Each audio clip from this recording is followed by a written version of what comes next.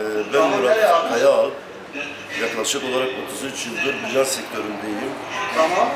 Geçen sene olduğu gibi fiyatlarımız, geçen senenin fiyatları biz e, büryana zam yapmadık. Geçen sene birkaç satıyorduk. Bu sene de aynı şekilde devam ediyoruz. Bu büryan kebabımızı herkesin yemesi için biz enflasyona rağmen yani porsiyonlarımızı şu anda 50 liraya satmamız gerekirken biz bunu tekrardan 40'a sattık. Ülkemiz için elimizi taşın altına koymuşuz ve bu şekilde fiyatlarımızı artırmadık, devam ediyoruz, 40'tan satıyoruz yani. Yani e, esnaf sanatkarlar olsun, Sayın Valilik tarafından bize rayişimiz 50 lira geldi. Biz yine de halkımızın halkımızı düşünerekten buna zam yapmadık. Herkesin bütçesine uygun porsiyonlarımız.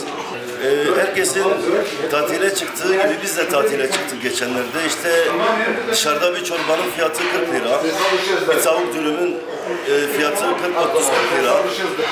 Ama Siirt yine biz bu enflasyona karşı büryan kebabımızı 40 liradan satmaya devam ediyoruz. Yani büryan kebabımızı yemeye herkesi bekliyoruz.